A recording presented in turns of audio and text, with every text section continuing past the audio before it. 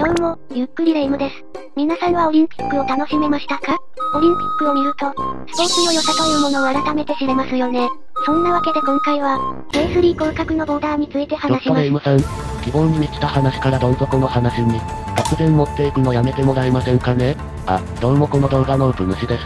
現実から目を背けてどうするのよ？寝ても覚めても我が軍は21位なのよこんな時期に出す話じゃないって言いたいんだよ。じゃあ何なら話せるのよウィーでのゲーム実それ況、最後に最下位になってボツになったじゃない。そもそもさ、オリンピック代表もいないのに動画出そうって時点でおかしいんだよ。だって今ならみんな動画出してないし今のうちに動画を出して再生する。再生数にがめつい男は五輪中だな。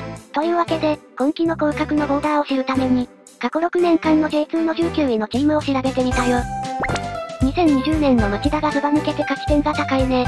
あと2015年の水戸の得失点差も特徴的だね。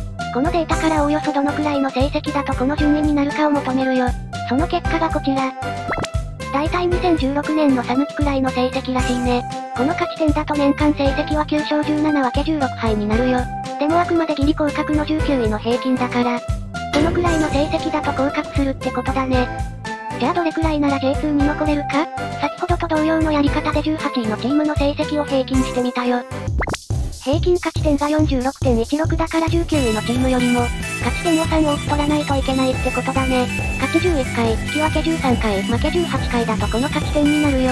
スコアで言うなら、1点差で11勝、1点差で9敗、2点差で9敗すると、得失点差がマイナス17になるよ。このデータがあれば我が軍に必要な、必要な成績がわかるというわけだな。じゃあ今度は我が軍のシーズン前半の成績と、ボーダーに到達するまでに必要な成績を見てみよう。我が軍の前半戦の成績はこんな感じだよ。正直、ひどいって言葉以外出てこない。4対0で勝った試合あるのがせめてもの救いだね。でもこれかなりでかくて、大宮が J に残留できる可能性を残してくれたスコアなんだ。その理由を今から説明するよ。まずさっき出したボーダーと今の大宮の成績を引くとこうなるよ。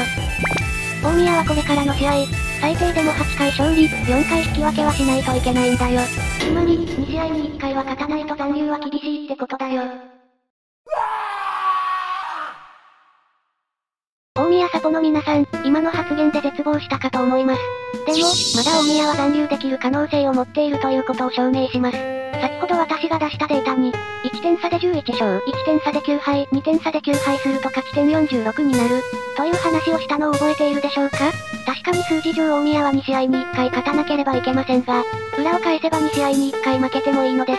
そこで先ほどの話のスコアが関係します。もう一度大宮の成績とボーダーのスコアを見てみましょう。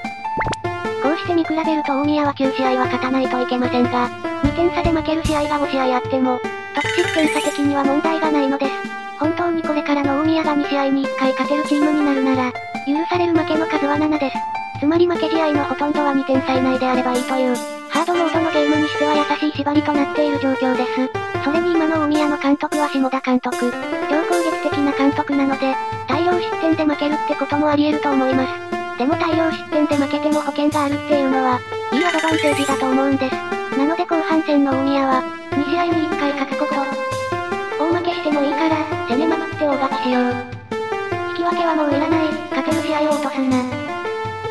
け試合を引き分けにするのを除く。今度は他のライバルチームはどうかを軽く見ていくよ。ちなみに大宮は現在の6位くらいのチームの成績が求められているよ。余計なことを言うんじゃないわよ。まずは SC 相模原だよ。勝利が何より要求されるね。私たちが言えることじゃないけど今季はだいぶ厳しい。来季が勝負になりそうだね。とはいえ高木監督の戦術にうまくはまれば侮れないチームだよ。高木監督は相手チームを分析して、弱点をついてくる戦い方だからね。他のチームは道連れされないよう注意して挑もう。次。20位の愛媛 FC だよ。ほぼ3試合に1勝1分け1敗のペースでいけば、オーダーに行ける感じだね。とはいえ直近の2連戦がザスパと北九州。この2連戦が今シーズン残れるかの分かれ道になりそうだね。まあ大宮から見れば引き分けだと嬉しいかな。近藤選手と横谷選手には仕事休むように言わないと困りますね。次。ちょっと待って、北九って何？ウプ主はギラバンスをそう呼んでるよ。そんなのどうでもいいわよ。文字途切れてるから早く戻しなさいよ。しょうがないな北九州も愛媛と同じだね。得失点差が愛媛よりも1低いよ。直近の試合は上位との対戦が多く、ここで勝って勢いづきたいところだね。ていうかこれらのチームにいい成績を残せないと、必要成績並みの結果は厳しくなるよ。9月を超えたら中堅から下位のチームとの対戦になるけど、試合を落としたらバッシング間違いなしで、チーム内がすごくピリピリしそうだね。大宮迫は沖縄の里のうどんを北九州に送って油断させましょう。次。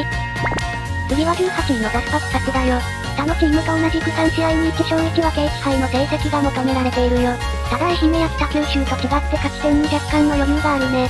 とはいえ大宮との勝ち点差は3だから、2、3試合でひっくり返る可能性があるよ。直近の試合は愛媛、栃木と負けられない、2連戦があるよ。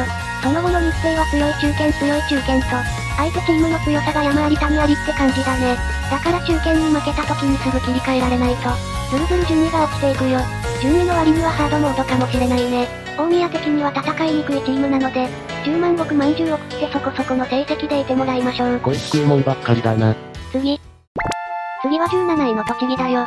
引き分けが多く、得失点差が少ないのが、特徴で、大宮に近い成績だよ。他のチームと同じく3試合に1勝1分け1敗の成績が求められているよ。このセリフもうテンプレじゃん。大宮と同様決定力に悩まされていたらしく、年から元日本代表の豊田を獲得したのは有名な話。守備面だと横浜から帯をレンタルで獲得し、昇格狙うのかってくらいの本気度を感じるチームだよ。直近の試合だと相模原、草津、ベルディ、愛媛と、下位チームとの負けられない戦いが多く控えているよ。その後は中堅と上位のチームとの対戦が交互にある感じで、直近の試合で勝てれば一桁順位争いに食い込める可能性があるチームだよ。ただ、直近の試合で栃木が負けるとボーダーが上がって、下位のチームが全体的にきつくなるから、直接対決がほぼない大宮は、だいぶきつくなるな。栃木にはそこそこ頑張ってほしいから。そうかせんべいだとソウルフードの餃子には勝てないからな。栃木、栃木、いちご、いちご、いちご、野菜、野菜、野菜。よし深谷ネギでも送るか。間接的に攻撃するのやめろ。当チャンネルはスウェーデン金沢も応援しているので、金沢の状況も軽く話すよ。引き分け以上の成績を残していけば大丈夫。ただ中断前の成績があんまり良くないから、中断期間で持ち直してもらいたいところ。というかまた金沢行きたいな今回の動画はいかがでしたか？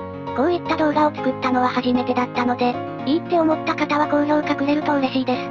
このチャンネルでは大宮などの現地映像、気まぐれにゆっくり実況などをやっています。よろしければ、チャンネル登録や他の動画も見てくれると嬉しいです。また見てね。そういえば、このチャンネルだと霊夢って初登場じゃん。今更かよ。